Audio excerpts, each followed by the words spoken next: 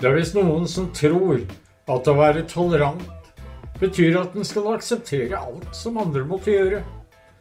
Det stemmer naturligvis ikke.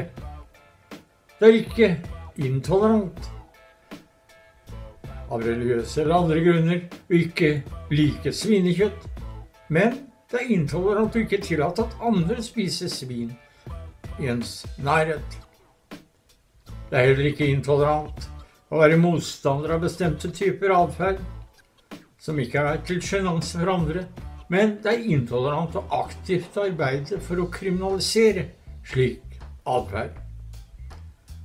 Uakseptabel intoleranse gjelder således forsøk på å kriminalisere, demonisere og aktivt nedvurdere hva andre mennesker gjør. Intolerante aktiviteter som kan karakteriseres som brudd på andre menneskers basale menneskerettigheter. For eksempel å ikke akseptere at noen er homofile.